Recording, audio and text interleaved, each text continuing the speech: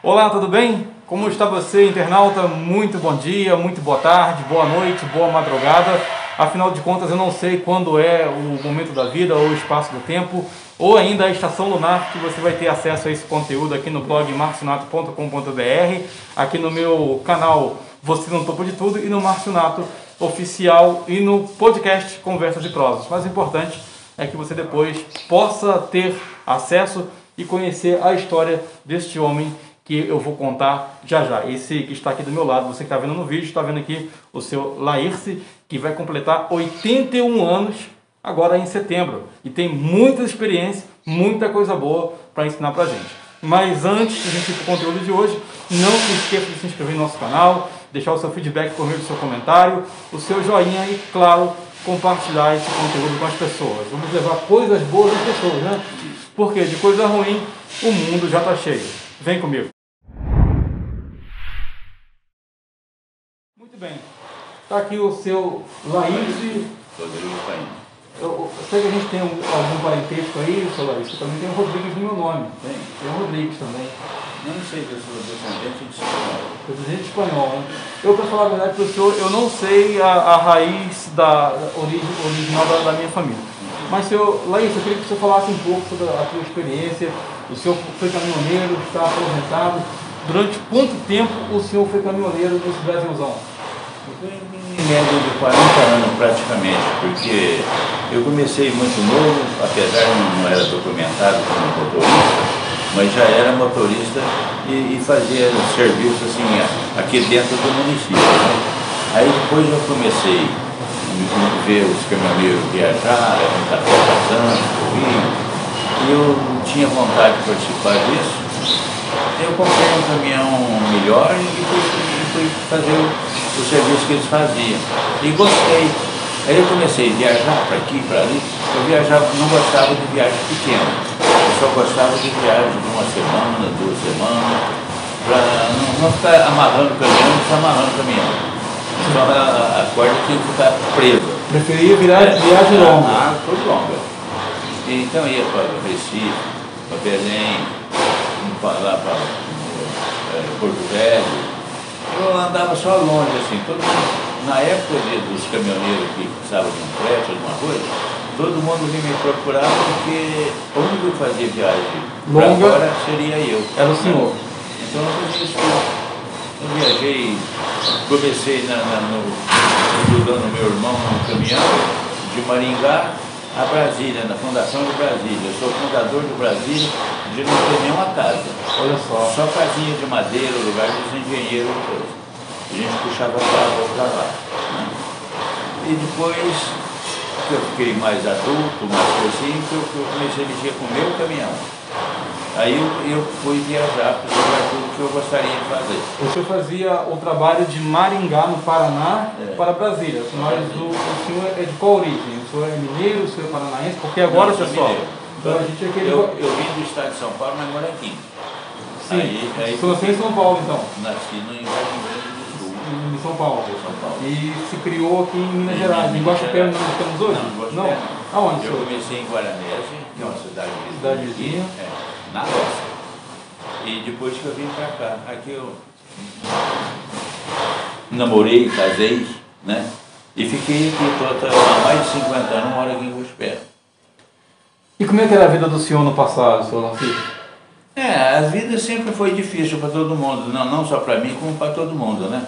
Mas, mas foi boa também, porque graças a Deus eu estou aqui, com essa idade que eu tenho, comi, bebi, dormi, e estou bem, graças a Deus. Não, não, sou, não sou cara de, de ficar visitando médicos. Se eles quiserem, eles vão me visitar. Eles que te visitem? É, eles têm que me visitar. Eu não vou lá não. Que legal. E, e- e como é que foi que surgiu essa ideia de o senhor ser caminhoneiro? O senhor foi ajudar o seu irmão? Partiu de um pedido dele ou o senhor já tinha essa Não. vontade de ingressar na carreira? Como é, como é que foi? Isso aconteceu por um acaso, que eu trabalhava na roça, e a roça, na época, você fazia plantação, essas coisas, mas não dava conta de colher, as coisas perdiam tudo, né? E não tinha preço. Foi onde eu larguei mão e fui. Aí que eu fui mexer com essa linha de leite, Da linha de leite eu, eu passei para ser caminhoneiro do transporte, aí já estava documentado direitinho. Fui viajar com transporte. Aí foi onde eu comecei. Ia no Rio de Janeiro, carregava na trama, Belém, levava a carga para Belém. Aparecia outra carga que ia, ia para Recife, Recife. Eu ia parar em Recife, no tempo tinha que tocar o jumento da estrada, porque era estradinha de terra. Não tinha essas BR não, não hoje. tinha essas lutas que tinha hoje, não. Tinha lugar que você tinha que parar, aquele bando de jumento dormindo no meio da estrada, você tinha que tocar eles você passar, senão ficava parado ali. Congestionamento É, causado por jumento. É, congestionamento com jumento. E chegava na, na, na cidade lá, que era o Recife ou Belém, fazia as entregas todas, esperavam porque uma carga de retorno. Né? Quando não tinha carga de retorno, a gente comprava alguma coisa e trazia para cá, para vencer vendido aqui na região. E a minha vida foi assim, sempre lutando com os caminhões e, e vendo se ganhava alguma coisa para o futuro, né? E foi aonde, graças a Deus, hoje eu tenho essa madeireira aqui, que apesar que quem cuida dela é meu filho, ele é muito, muito inteligente, sabe manobrar as coisas, e está no pé que hoje. Ou seja, do caminhão o senhor construiu uma madeireira. Construiu uma madeireira. Quando foi que começou, pessoal, a gente está aqui inclusive, eu esqueci de falar, deixei de falar no começo, mas vou falar agora. A gente está aqui em Guaxupé, na madeireira Canaã. O nome já é bonito a beça, Canaã. É, por que esse nome e como, e como que surgiu a madeireira? Porque eu viajava e eu fui parar nós tínhamos uma fazenda em. E eu fui buscar uma carga com meu irmão lá em Canaã. E chegando lá em Canaã, como que não bonito, né? Eu vi falar qualquer dia na televisão, Canaã seria um, um céu aberto, um negócio assim, né? A Terra Prometida. A terra A Terra prometida. Prometida. Aí é onde eu falei, se um dia eu tiver alguma coisa, eu vou pôr o nome de Canaã. Mas como eu mexia puxando madeira, para lá e para cá, aí foi onde eu, eu, eu pensei em fundar essa madeireira. Eu falei, vai ser o nome Canaã. E quando foi que o senhor fundou a madeireira? Ah, já faz uns 35 anos, não tem ideia, sim, mas... Não tem, não tem idade a, a É, ideia. a ideia certa não tem não, mas há uns 35 anos que eu tenho essa madeireira. E quem administra era meu filho. E como, é, e, e- e como é que foi a, a, a- entrada do Cássio, do seu Cássio, assim, na, na madeireira? O senhor foi incentivando ou partiu dele mesmo esse interesse? Como é que foi? Não, isso daí que eles eram todo moleque que me ajudava. E quando eu abri a firma, tocou madeireira, eu já abri com o nome deles, do Carlos Alberto, que é o outro meu filho que está aí, só que não deu certo, eles, dois irmãos trabalharam juntos, não dá muito certo. E, e acabou outro, acabou desistindo, foi mexer com. com. Cozinheiro, rapaz, assim, é. É? Foi mexer com outro ramo de É, atividade, é, né? Foi com outra atividade. E, e, o, e o Cássio ficou tocando aqui, a gente junto, sempre dando apoio e, e com a inteligência dele está no pé que está hoje, graças a Deus. Que bom. Senhor tem dois filhos? Três. Três filhos. É. Eu tenho dois filhos e uma filha. Uma filha. É, O Cássio é o mais novo, é o mais velho? é o do meio. Do meio. Do meio. Muito bem. E a sua esposa? A minha esposa, ela foi professora, diretora, um bocado de coisa na, na, na rede do ensino. E hoje está aposentada também, está junto comigo aí, com seus 70 anos, seus 70 Novinha ainda, né? Novinha Uma ainda. garotinha ainda. É. No senhor, né? Um garotão É, ainda, é. né? Garotão. Fazer o quê, né? É, bateu pra jogar uma partida de futebol, É. né? Aguenta ainda, não aguenta? Não muito, mas as, as pernas não tá aquela coisa mais não. Não obedece, mas não, o cérebro funciona, mas a- o corpo não sim. responde mais. né? O cérebro tem, mas a- o corpo não está Não responde mais como antes, né? E como é que foi que o senhor conheceu a sua esposa? Foi por por meio do, do trabalho no caminhão? Como é que foi que é essa... Foi na, na puxação de leite. Na puxação de leite? É, que eu morava estava numa cidadinha perto que é a Pratinha, e vinha trazer o leite aqui no Monticínio Polengue. E eu passava para eu passava para cá, ela era pequenininha, fazia de bicicleta no passeio ali, e por ali começou, se engraçou com a gente, e coisa e deu certo. Ou o senhor se engraçou com ela? Eu também. Ah, tá certo. Aí deu certo, a gente namorou, casou, então aí até hoje, graças a Deus. Legal. É. E nesses anos de casamento, já tem, já, já tá quantos anos aí, senhor? Vai isso. foi em 65 que eu casei, já uns 52 anos, 52 anos. Né? 56 anos quase já. É. Parabéns. É? E é, opa, e hoje em dia é difícil você é, ver uma, é uma, relação duradoura como essa. Né? É difícil porque o que eu vejo hoje, as meninas hoje começam a namorar, amanhã já não está nem namorando, já está morando junto, ficam uns tempos juntos, quando veja mete o pé na lata, já manda tudo embora. E eu acho assim, ninguém quer responsabilidade. Porque o casamento tem que ser uma coisa assim, uma coisa que você quer, os dois querem. Meio a meio, né? Ah, sim. Tem, tem que haver uma oportunidade aí, seu. Um respeitar a outra até uma, o, o, o possível, né? Fazer o possível tudo dar certo. Eu, portanto, eu nunca briguei com a minha esposa, nunca tive nada de coisa. Ela que briga com o senhor? Nem brigar comigo, ela também não briga. Ela é muito. Assim, pensa muito bem, sabe que eu sou, né?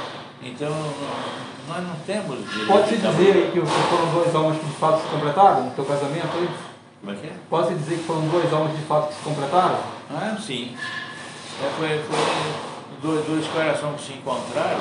E se tornaram um? E, e se tornou um só. Que legal. E a parte, o, o, o, tudo que eu sinto por ela, eu mesmo que eu que ela sente por mim. Que legal, né? bacana. A única coisa que nós temos que esperar, que não, não vai ser fácil, Deus quiser, vai demorar um pouco, é a nossa separação que vai ser a separação definitiva, né? tanto, de, tanto minha como dela, que a gente um dia vai ter que morrer. E, ser, a nossa separação vai ser assim. Né? Estou emocionado agora, né? Estou é, emocionado. O amor, gente, ó, isso é um amor bonito, um amor lindo, um amor que começou lá em 1965, ou um é, pouco antes. Ah, começou aqui antes, né? Começou um pouco antes, né? Aquele namoro. 62, né? 62. Olha aí, ó, tá vendo só, gente? É. Estamos em 2021. É e o, o seu Laírce, ao falar da amada esposa, que graças a Deus está com ele, já, já completaram aí mais de 50 anos de casado, e ainda se emociona ao falar da companheira. O pessoal, o amor não é descartável, o amor não é flor roxa que nasce no coração do trouxa, não. O amor é real, o amor existe. É, seu Laís, é, seu Laís, eu queria que o senhor falasse assim, ó, nesses anos que o senhor já viveu, nem tudo foram flores ah, na vida do senhor, né? Ah, Quais foram os espinhos que o senhor teve que pisar no decorrer dessa vida aí? Não, assim, espinho, espinho não teve, mas tinha uma, uma coisa que por, por pela minha profissão ser caminhoneiro e viajar, eu já viajar todo um mês, até todo mês fora, né? E eu tinha as crianças pequenas, crescendo aí, eu não, não ajudei. Doía senhor, né? É, eu não ajudei eles crescer, não vi o crescimento deles, porque eu tinha que trabalhar. Mas, como diz trabalhar sempre foi a coisa melhor que eu tenho na vida, é ter trabalho, né? E eu consegui assim, trabalhando e lutando, que é onde eu consegui estar onde eu estou hoje. A tua ausência o senhor sente mediante não ter ah, podido acompanhar o crescimento dele, mas hoje o senhor tem aqui um, uma, um estabelecimento comercial no qual o senhor também pode reunir a família, que eu vi família. Ah, né? sim, estão todos juntos aí dia, dia e noite quase sem parar. O senhor, o senhor é um homem que já atravessou praticamente oito décadas. Ah, sim. É, vai fazer 80 é. anos. Né? Pessoal, oito décadas. Né? Ele, ele, tem, ele, ele, tem a idade de, ser meu pai, meu avô, eu, eu tenho 43 anos. Então, seja pouco. Assim, ó, o que, que o senhor vê de diferente no mundo de hoje, no mundo que o senhor viveu há anos atrás? O que eu vejo da evolução, né? eu vou ter mania de falar, que nem tem aquela história, vamos supor assim, aquele morro lá tem 300 mil anos. Quem sabe se aquele morro, tem 300 mil anos? Se a, a, a evolução começou a crescer agora, tem alguém que tem uma cabeça para pensar para levantar aquilo lá com 300 mil anos? É que lá por uma casa aconteceu, Deus fez e ficou ali, né? E hoje nós a gente está vendo ele. Mas, na realidade, ninguém sabe do que a evolução está agora. Aqui, ó, eu, eu sou fundador de Sinop, de Brasília. Quando o Chavo estava para Brasília, está certo. Eu não era o titular da, da, da, do transporte, mas era o meu irmão. Né? Eu, eu conheci Brasília, tudo em, em valetinha, fazendo rua, fazendo esgoto, não tinha uma casa. Trabalhou na construção de Brasília. Trabalhei na construção de Brasília. Furnas, por exemplo. Furnas levei madeira para lá, eu com meu irmão. No Furnas eu estava cavando lá, só via máquina. Mas você nem viu o que estava fazendo lá. Levei tábua para lá também. Né? E que nem Sinop, por exemplo. Sinop eu cheguei lá, não tinha nada, era uma mata. E como é que era, como é que era naqueles tempos, na, nos primórdios aí da construção da, das BR de Brasília, como é que era trafegar por essas estradas do Brasil varonil aí? Rapaz, para trafegar isso aí, naquela época não era nem estrada, era um trieiro. E quantas nós, horas fazia? Brasília levar, nós saímos por, porque o nosso trajeto daqui, Itumbiara, e o Goiânia, eh, e Anápolis e Brasília. Né?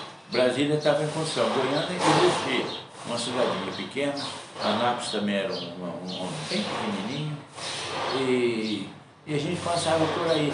Só que na época de a gente ir para lá, no, no, deserto aí não tinha um restaurante, não tinha um posto de gasolina, é, era, era difícil para ir lá. E até para a gente tomar uma refeição, naquelas casinhas de, de, de madeira, cobertas de, folha de coqueiro. E é onde a gente almoçava, jantava, dormia, dormia dentro do caminhão na porta desse E quanto tempo durava essa viagem? Quanto tempo durava essa, essa viagem? Ah, rapaz, eu não tenho lembrança certinho, não, mas três, quatro, cinco dias, né? Lá de Cascavel, de, de Maringá, vai sair da quando chovia, então demorava mais ainda, né? É. Quando ah, se chovesse, não tinha estrada, não tinha nada, né? Na época não tinha estrada. Era só um trieiro meio cerrado. Portanto que na, na, nos restaurantes que a gente parava para comer, para comer era bicho. Não tinha assim, um, um matador que fornecesse carne, fornecesse essas coisas. O, o que eles tinham lá, que eles encontraram, era bicho. Fazia bicho mesmo. Né? Interessante. E nas viagens que eu fazia também para o Belém, para Recife, tudo. Tem saudade desse tempo, senhor? Eu tenho saudade, mas não vou voltar mais, né? Porque nem o próprio tempo não volta, né? Hoje está com essa evolução, é asfalto, um melhor do que o outro, viaduto para todo lado, né? A, a cidade também cresceu demais. Então, assim, você vê, a evolução foi muito grande. Eu lembro quando eu viajava para Sinop, lá, de Cuiabá, chegava em Cuiabá, você podia passar lá durante o dia, nos, tempos, nos dias frios igual hoje, você podia passar até lá no meio de uma rua. Não, ninguém te via. Não tinha, não tinha nenhum vagalume lá. Não, não tinha nada, nada, nada. Eu acabava de passar Sinop e entrava num, num túnel de mato e ia sair lá em Sinop.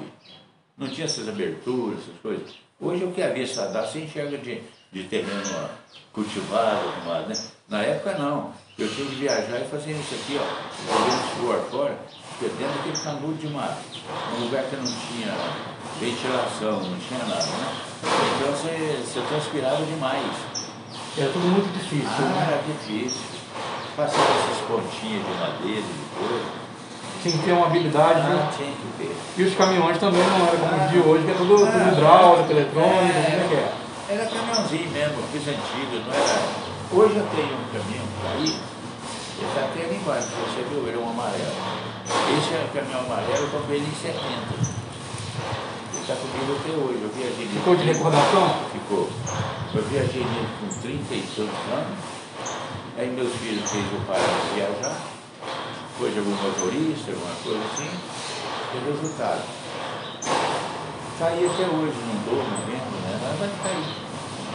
Já tá bom demais. Posteridade, né? Ele mudou demais. É um troféu, né? Ah, sim. É um troféu. Ele mudou demais. É aquilo lá, e um corcelzinho velho que eu tenho ali, você viu ele ali embaixo? Vou olhar daqui a pouco, lá para o pessoal ver também. Vou filmar, o senhor autoriza? Opa!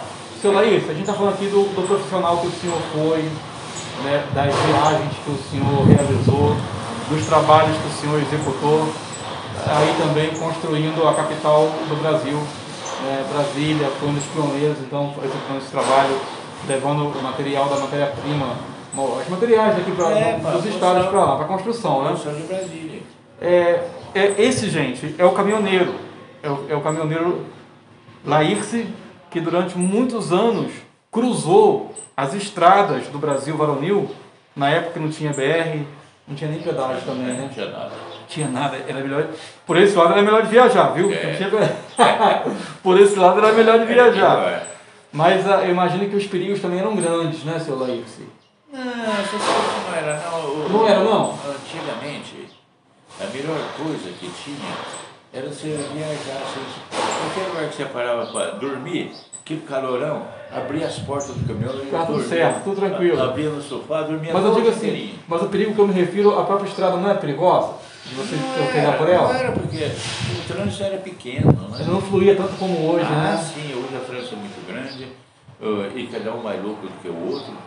Porque Uma hoje, peça de chegar, né? você quer ver uma coisa perigosa? Hum, É os motoristas lá de Santa Catarina, Rio Grande do Sul, muito. porque os caras compram esses carretonas e dá para esses meninos que têm men- mentalidade de motorista e trabalham por comissão. Então, olha rapaz, a comissão é a pior coisa do mundo, porque o cara quer ganhar e ele não sabe o que, que ele está fazendo, é só loucura. Ele, ele toma rebite, e ele e, e vai que vai, só, só fazendo tudo que não presta. Usa maconha, usa cocaína. Naquele tempo nós não usava nada. Era um cafezinho, uma coisinha assim, sabe? Era, um, era muito gostoso. A Aonde gente você- ajudava os outros. Chegava aí, tinha um cara com o caminhão quebrado. Você parava, "Ô, o que aconteceu aí? Ah, eu estraguei uns parafusos de roda aqui e, e não tá fácil, rapaz. Eu não sei como é que eu vou fazer. Eu, ma- eu mandei pedir lá em tal lugar, eles vão mandar para mim, mas não sei nem que dia que vai chegar. Eu vou ficar aqui esperando. Ah, então tá. Eu vou buscar, eu vou passar ali no, no restaurantinho que tem ali na frente, vou mandar trazer. Você tem água? A água eu tenho. Então eu vou trazer, mandar trazer comidas, coisas, almoço, já. Era um ajudando o outro, né? É. Aí o dia que você passar lá, você paga. Os, os, os caras eram bons para isso. E hoje? Mandava, ah, hoje não tem disso não. Hoje benção. você tem dinheiro, bom, você não tem dinheiro, passa fome, vai São poucas pessoas que, que se colocam no Ah, lugar da acabou, ninguém ajuda ninguém. Hoje, se você ficar na beira da estrada ali, ó, uma peça na mão, e um carona. Quer dizer, Você é um caminhoneiro. Os outros caminhoneiros passam, quando você ali, eles aceleram mais ainda. Ninguém ajuda ninguém. Há uma diferença entre o caminhoneiro e o motorista de caminhão? Ah, sim, a diferença é essa. Porque de primeiro você tinha consciência, você tinha amor no outro que estava trabalhando. Hoje não, hoje você é cada um para si e Deus para todos. Se, se você fez, fez, se você se lascou, se lascou, não tem nada disso não. Ele não está nem aí. Então é o que eu falo para você. Hoje o motorista é, é difícil que vê o outro parado e, e tem a capacidade de parar e perguntar se ele precisa de alguma coisa. Que ele não para, ele acelera mais ainda para passar perto dele. Vai embora, né? É, vai embora. Seu Laírce, é, a gente falou aqui um pouco então do, da, um pouco de, de cada etapa da tua vida, né? Uhum. Falando assim. A tua infância foi legal? Se eu gostaria de voltar à tua infância, se eu pudesse voltar. Ah, sim. Nossa. Contudo, a gente não ter tido uma infância, porque desde moleque a gente vem, vem sacrificando, que eu deixei de estudar, se eu sou um cara estudado, eu fiz escolinha de roça. E eu tenho irmão formado, com todas as coisas, mas eu não, não, não, não tenho inveja daquela não, porque eu, dentro do que eu fiz, eu, eu achei que eu estou certo, eu não quis estudar e, e parti para uma, uma coisa pesada. Sim. Mas graças a Deus venci, dei conta, tudo. Então, agora a única coisa que eu, que eu acho ruim de não ter tido uma infância, porque na época a gente não tinha dinheiro, não tinha nada. Era um, nossa, eu era molecão que andava de, de descalço até 15 anos, 16 anos. Andava descalço no meio das roças, no meio das coisas aí. Agora hoje não. As crianças já nascem de sapatinho, não pode pôr o pé no chão, não pode fazer nada, você não acha? É outro tempo, né? É, e portanto você vê, o povo de hoje não tem a saúde que a gente tem. Porque eu já pisava no chão mesmo. Né? O chão descarregava todas as maldades que tinha no corpo. Ficava tudo na terra, né? Ficava tudo na terra. A terra é, é, é, é, o como diz até um para-raio. Se o senhor, se o senhor, se aqui tivesse uma máquina do tempo hoje e o senhor pudesse voltar no tempo em alguma parte da sua vida, qual local você gostaria de visitar? Ah, rapaz. Eu como caminhoneiro, eu tenho saudade dos lugares que eu passei. Que eu não vou passar mais, né?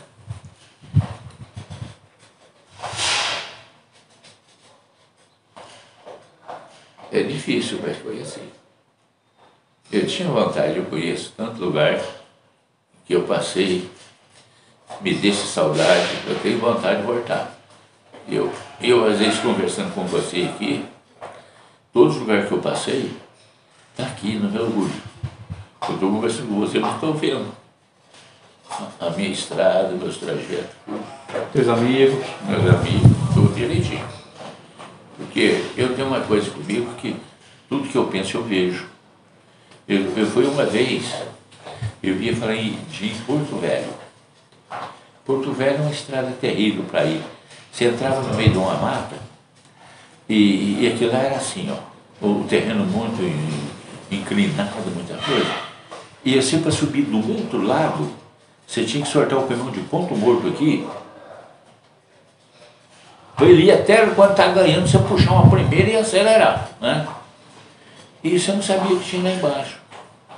Eu vou cair de tanta sorte na minha vida, Deus viajou junto comigo, dia e noite sem parar. Porque você já pensou, se chegar num lugar que você não está vendo o fundo, né? E você está descendo lá com o seu caminhão carregado, você nem sabe que existia lá embaixo. Se tinha um caminhão quebrado, parado lá, você chegar e arregaçar com tudo. Deus fazia isso tudo para mim, que eu, eu passava, não tinha nada lá. Você via, tomava soco, o tempo pulava todo lado, mas saía lá em cima. Conseguia fazer o trajeto. Conseguia fazer o trajeto. É coisa que eu, eu fico pensando, gente, Deus, Deus foi bom demais com a gente. Mas muito, muito, muito. Porque a gente fazia cada loucura. Eu fui uma vez em Santa Teresa de Goiás, eu carreguei um caminhão de casterita. Você conhece casterita não, né? Não, não conheço. É um, um saquinho desse tamanhozinho, assim, um pouco maior que um saquinho de açúcar. Ele pesa 60 quilos. Aí eu peguei esse. Bom, retomando aqui a nossa gravação, então, continuando, o senhor é, o senhor é uma pessoa que o senhor fica muito emocionado é. quando o senhor fala em família. É. Né? O que é a família para o senhor? É, a família todos eles têm, né? Um cara que não tem família não é ninguém. Pode ser um andarilho, uma coisa assim, que até o próprio andarilho, ele tem saudade da família, mas ele está sozinho. E sozinho eu acho que é muito difícil de viver. Porque uma família é tudo. Quem não tem família não tem. Não é isso? E o que a tua família significa para ti? Significa tudo. O que eu tenho é uma família. O resto é o resto. Né? É consequência, né? É. E o resto é resto. Você não tem, você não tem família, não é ninguém. Eu queria que você deixasse uma mensagem especial aí para os teus familiares que vão assistir vídeo depois.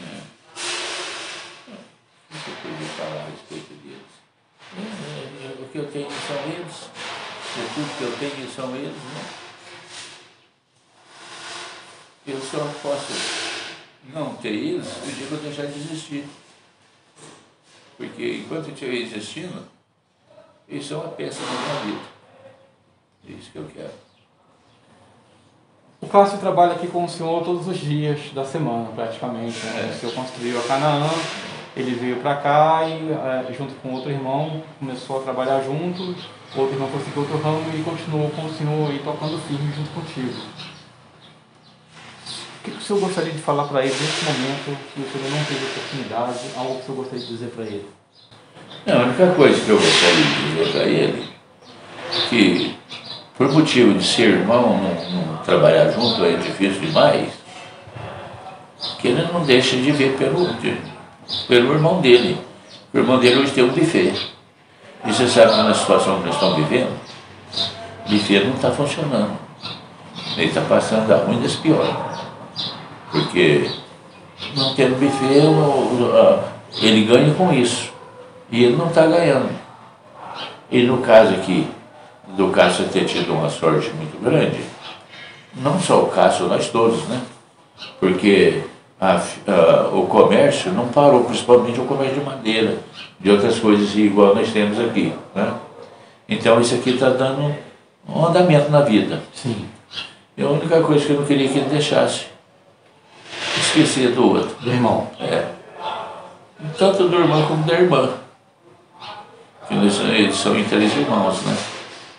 Então eu queria que ele, como está mais bem arrumado na vida, coisa, não esquecesse dos outros, né? Que seja lá como for, eu lutei por eles. E ele tem que lutar por, por todos da família, porque é o que está dando mais certo no, no, no ramo que está fazendo, né? Esse é um pedido especial do senhor para ele. É? Esse é um pedido especial. Ah, sim. Porque eu acho. Ele não pode abandonar ninguém, né? A gente. É um sangue só, né?